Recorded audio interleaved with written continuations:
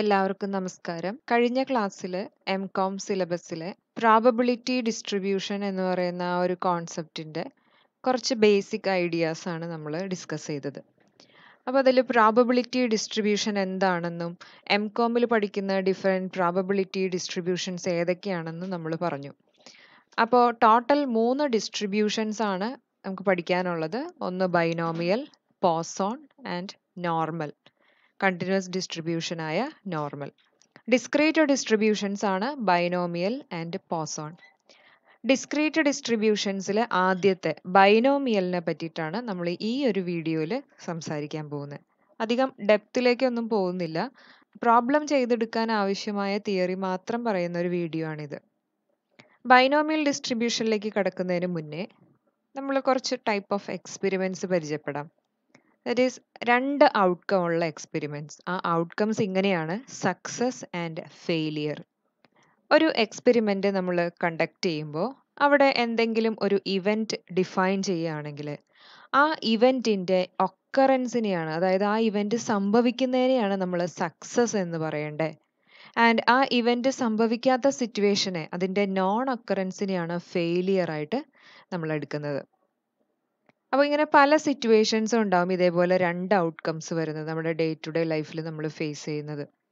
നമ്മൾ എന്തെങ്കിലും സാധനങ്ങൾ ബൾക്കായിട്ട് വാങ്ങിക്കാൻ പോകുമ്പോൾ അതിൽ ആ ഐറ്റംസ് ഡിഫക്റ്റീവ് ആണോ അതോ നോട്ട് ഡിഫക്റ്റീവ് ആണോ നമ്മൾ നോക്കാറില്ലേ? അതേപോലെ എന്തെങ്കിലും ഒരു സർവീസ് നമുക്ക് കിട്ടുകയാണെങ്കിൽ നമ്മൾ അതിൽ സാറ്റിസ്ഫൈഡ് ആണോ നോട്ട് സാറ്റിസ്ഫൈഡ് ആണോ ഈസ് സക്സസ് ആൻഡ് ഫെയിലിയർ നേച്ചറിലുള്ള ഒരുപാട് ഔട്ട്കംസ് ഉള്ള എക്സ്പെരിമെൻസ് ഉണ്ട്. അങ്ങനെയുള്ള എക്സ്പെരിമെന്റ്സിലാണ് ബൈനോമിയൽ ഡിസ്ട്രിബ്യൂഷൻ ആപ്ലിക്കേഷൻ ഉള്ളതെന്ന് വേണമെങ്കിൽ പറയാം. അപ്പോൾ ഈ ഒരു സക്സസ് ആൻഡ് ഫെയിലിയർ രീതിയിലാണ് ഔട്ട്കംസിനെ നമ്മൾ ഈ ഒരു എക്സ്പെരിമെന്റിൽ നോക്കിക്കാണുന്നത്. സക്സസിനുള്ള പ്രോബബിലിറ്റി സ്മോൾ ലെറ്റർ പി ആയിട്ട് എടുക്കുകയാണെങ്കിൽ ഫെയിലിയറിനുള്ള പ്രോബബിലിറ്റി എന്തായിരിക്കും?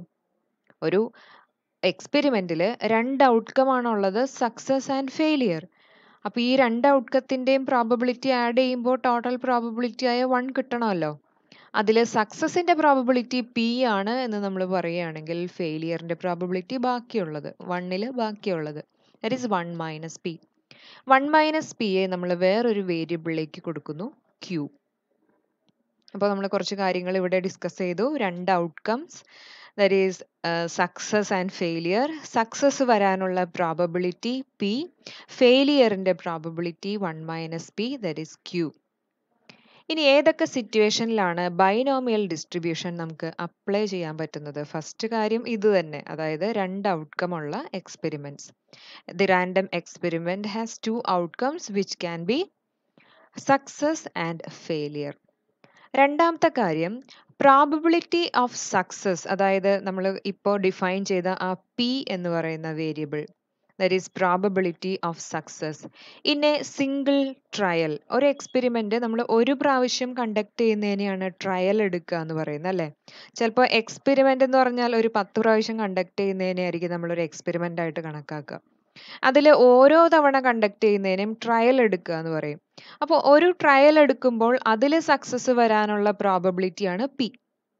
ഒരു സിംഗിൾ ട്രയലിൽ സക്സസ് വരാനുള്ള പ്രോബബിലിറ്റി ആണ് പി. അത് എല്ലാ ട്രയൽസിലും സെയിം ആയിരിക്കണം. ആ ഒരു സെയിം എക്സ്പെരിമെന്റിന്റെ റെപ്പറ്റീഷനിൽ ഓരോ ട്രയലിലും ഈ ഒരു സക്സസിന്റെ പ്രോബബിലിറ്റി സെയിം ആയിരിക്കണം. Probability for success in a single trial remains constant from trial to trial of the experiment എത്ര പ്രാവശ്യം ആ ഒരു എക്സ്പെരിമെന്റ് ട്രയൽ എടുത്താലും ഈ പ്രോബബിലിറ്റി ഓഫ് സക്സസ് ചേഞ്ച് ചെയ്യാൻ പാടില്ല. ആ സെയിം എക്സ്പെരിമെന്റിൽ കേട്ടോ വേറെ എക്സ്പെരിമെന്റിലും വേറെ പ്രോബബിലിറ്റി ആയിരിക്കും സക്സസിനുള്ളത്. ആൻഡ് അടുത്ത ഒരു കണ്ടീഷൻ അല്ലെങ്കിൽ ഒരു സിറ്റുവേഷൻ എന്ന് പറഞ്ഞാൽ experiment is repeated finite number of times. ഒരു എക്സ്പെരിമെന്റ് ഒരു ലിമിറ്റഡ് നമ്പർ ഓഫ് ടൈംസ് മാത്രമേ റിപ്പീറ്റ് ചെയ്യാൻ പാടുള്ളൂ. അങ്ങനെയുള്ള ടൈപ്പ് റെപ്പറ്റീഷനിൽ മാത്രമേ ബൈനോമിയൽ അപ്ലൈ ചെയ്യാൻ പറ്റുള്ളൂ. സേ ഒരു ഇൻഫിനിറ്റ് നമ്പർ ഓഫ് ടൈംസ് ഒരു എക്സ്പെരിമെന്റ് റിപ്പീറ്റ് ചെയ്തു എന്നൊക്കെ പറയുമ്പോൾ അപ്പോൾ നമുക്ക് ബൈനോമിയൽ ഡിസ്ട്രിബ്യൂഷൻ അവിടെ അപ്ലൈ ചെയ്യാൻ പറ്റാതെ വരും. വേറെ ഡിസ്ട്രിബ്യൂഷൻസിന് ഡിപ്പെൻഡ് ചെയ്യേണ്ടി വരും. And last situation trials are independent trials independent ആയിരിക്കണം. ഓരോ ട്രയലും ഇൻഡിപെൻഡന്റ് ആയിട്ട് നമ്മൾ കണ്ടക്ട് ചെയ്യണം. അതായത് ഫസ്റ്റ് ട്രയലിലുള്ള പ്രോബബിലിറ്റി തന്നെയായിരിക്കണം. സെക്കൻഡ് ട്രയലിലുള്ള പ്രോബബിലിറ്റി ഓഫ് സക്സസ് നമ്മൾ പറഞ്ഞു. അതേപോലെ ഓരോ ട്രയലും മറ്റൊരു ട്രയലിനെ അഫക്റ്റ് ചെയ്യാത്ത രീതിയിൽ ഈ പ്രോബബിലിറ്റി ചേഞ്ച് ചെയ്യാത്ത രീതിയിൽ ഓരോ ട്രയൽസും ഇൻഡിപെൻഡന്റ് ആയിട്ട് കണ്ടക്ട് ചെയ്യണം. അപ്പോൾ ഇത്രയും സിറ്റുവേഷൻസ് ഉണ്ടെങ്കിലാണ് ബൈനോമിയൽ ഡിസ്ട്രിബ്യൂഷൻ നമുക്ക് അവിടെ അപ്ലൈ ചെയ്യാൻ പറ്റുള്ളൂ. അതായത് സക്സസ് ആൻഡ് ഫെയിലിയർ രണ്ട് ഔട്ട്കംസ് ആൻഡ് സക്സസിന്റെ പ്രോബബിലിറ്റി കോൺസ്റ്റന്റ് ആയിരിക്കണം from trial to trial and experiment ഒരു finite number of times repeat ചെയ്യാൻ പാടുള്ളൂ. ട്രയൽസ് ആർ ഇൻഡിപെൻഡന്റ് ആയിരിക്കണം. അപ്പോൾ ഇങ്ങനെയുള്ള സിറ്റുവേഷനിൽ ഇൻഡിവിജ്വൽ ഔട്ട്കത്തിന്റെ പ്രോബബിലിറ്റീസ് കണ്ടുപിടിക്കാൻ നമുക്ക് ബൈനോമിയൽ ഡിസ്ട്രിബ്യൂഷൻ അപ്ലൈ ചെയ്യാം. അപ്പോൾ നമ്മൾ കഴിഞ്ഞ വീഡിയോയിൽ പറഞ്ഞതുപോലെ പ്രോബബിലിറ്റി ഡിസ്ട്രിബ്യൂഷൻ അത് കണ്ടുപിടിക്കാനായിട്ട് നമുക്കൊരു ഇക്വേഷൻ വേണമെന്ന് പറഞ്ഞല്ലോ.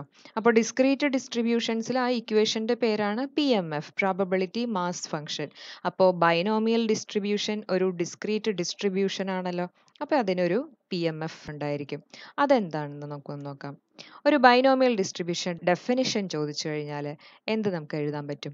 A discrete random variable capital X is said to follow a binomial distribution X ഒരു ഡിസ്ക്രീറ്റ് റാൻഡം വേരിയബിൾ ആയിരിക്കണം. കാരണം ബൈനോമിയൽ ഡിസ്ട്രിബ്യൂഷൻ ഒരു ഡിസ്ക്രീറ്റ് പ്രോബബിലിറ്റി ഡിസ്ട്രിബ്യൂഷൻ ആണ്. അപ്പോൾ അവിടുത്തെ റാൻഡം വേരിയബിൾ ഒരു ഡിസ്ക്രീറ്റ് റാൻഡം വേരിയബിൾ ആണ് ക്യാപിറ്റൽ എക്സ് അതൊരു ബൈനോമിയൽ ഡിസ്ട്രിബ്യൂഷൻ ഫോളോ ചെയ്യുന്നു എന്ന് പറയണമെങ്കിൽ. With parameters N and P N and P parameters എന്നാണ് പറയുക. നമ്മുടെ ഇക്വേഷനിലുള്ള അല്ലെങ്കിൽ ആ ഒരു പി എം എഫ് എന്ന് പറയുന്ന ആ ഫംഗ്ഷനിലുള്ള കോൺസ്റ്റൻസ് ആണ് ഈ എൻ ആൻഡ് പി അതെന്താന്ന് നമ്മൾ പോകെ പോകെ കുറച്ച് ഡീറ്റെയിൽ ആയിട്ട് പഠിക്കും. ഇപ്പോൾ അത് ജസ്റ്റ് പറഞ്ഞു പോകാം. എൻ ആൻഡ് പി എന്ന് പറയുന്നത് ആ ഫംഗ്ഷനിലുള്ള കോൺസ്റ്റൻസ് ആണ്.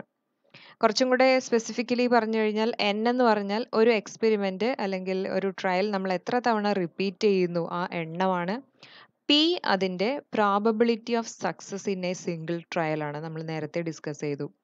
അങ്ങനെയാണെങ്കിൽ ആ ഒരു ഡിസ്ട്രിബ്യൂഷന്റെ P M F probability mass function is of the form ഇങ്ങനെ ഒരു ഫോം ആയിരിക്കും ബൈനോമിയൽ ഡിസ്ട്രിബ്യൂഷന്റെ പ്രോബബിലിറ്റീസ് കണ്ടുപിടിക്കാൻ നമ്മൾ ഉപയോഗിക്കുന്നത്.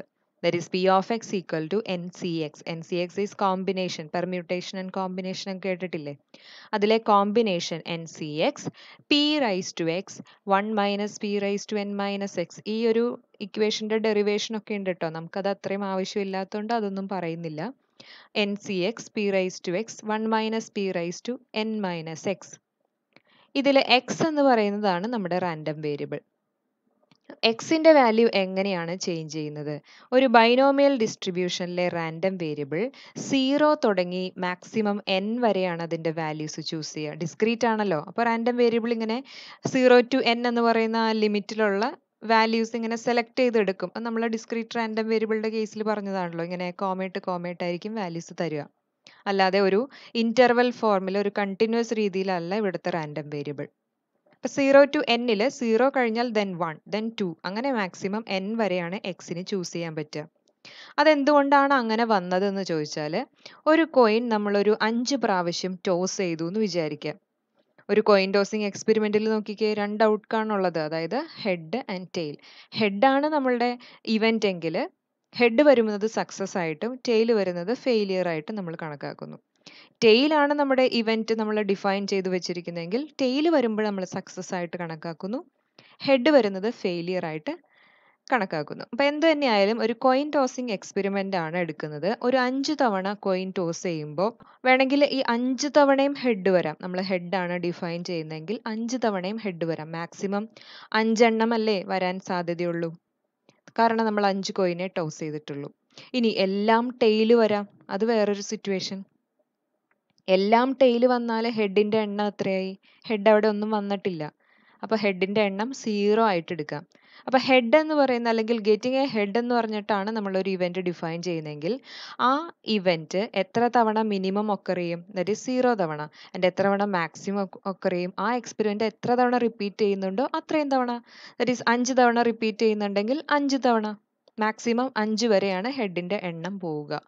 അപ്പോൾ ജനറലി എൻ ടൈംസ് ഒരു എക്സ്പെരിമെന്റ് റിപ്പീറ്റ് ചെയ്യുന്നുണ്ടെങ്കിൽ എൻ വരെ റാൻഡം വേരിയബിൾ എക്സ് വേരി ചെയ്യാം. ഇനി ഇവിടെ വൺ മൈനസ് പീനെ നമുക്ക് വേണമെങ്കിൽ ക്യൂയിലേക്ക് കൊടുക്കാമെന്ന് പറഞ്ഞല്ലോ. അപ്പോൾ നമുക്ക് ഇതിനെ വേറൊരു ഫോർമാറ്റിലേക്ക് കിട്ടും. That is N C X P raise to X Q raise to N minus X ഇവിടെയും എക്സ് സീറോ ടു വൺ ഇവിടെ പിയും ക്യൂവും എന്താണെന്ന് അറിയാലോ P is the probability of success and Q is the probability of failure and Q equal to one minus P ഇനി N number of trials ആണെന്ന് നമുക്കറിയാം. P probability of success in a single trial ആണെന്നും അറിയാം അങ്ങനെയാണെങ്കിൽ binomial ഡിസ്ട്രിബ്യൂഷന്റെ അല്ലെങ്കിൽ ആ ഒരു probability ഡിസ്ട്രിബ്യൂഷന്റെ മീൻ average എങ്ങനെ കണ്ടുപിടിക്കാം? അത് എളുപ്പത്തിൽ കണ്ടുപിടിക്കാൻ ഇതിലൊരു ഇക്വേഷൻ ഉണ്ട്. N into P that is number of trials into probability of success ഇനി ഈ ഡിസ്ട്രിബ്യൂഷന്റെ സ്റ്റാൻഡേർഡ് ഡീവിയേഷൻ എങ്ങനെ കണ്ടുപിടിക്കാം? സ്റ്റാൻഡേർഡ് ഡീവിയേഷൻ എന്ന് പറഞ്ഞാൽ ആ ഡിസ്ട്രിബ്യൂഷന്റെ വേരിയേഷന്റെ ഒരു മെഷറാണ് അതിന്റെ ഇക്വേഷനാണ് root of N P Q N into P into Q standard deviation അറിയാമെങ്കിൽ നമുക്ക് വേരിയൻസ് എങ്ങനെ കണ്ടുപിടിക്കാം? സ്റ്റാൻഡേർഡ് ഡീവിയേഷന്റെ സ്ക്വയർ ആണ് വേരിയൻസ്. റൂട്ടുള്ള ഒരു സാധനം സ്ക്വയർ ചെയ്ത് കഴിഞ്ഞാൽ അതിന്റെ റൂട്ട് പോകും. So variance equal to N into P into Q അപ്പോൾ ഇത്രയാണ് ഈ വീഡിയോയിൽ ഉൾപ്പെടുത്താൻ ഉദ്ദേശിച്ച കാര്യങ്ങൾ. എല്ലാവർക്കും മനസ്സിലായെന്ന് വിചാരിക്കുന്നു. താങ്ക്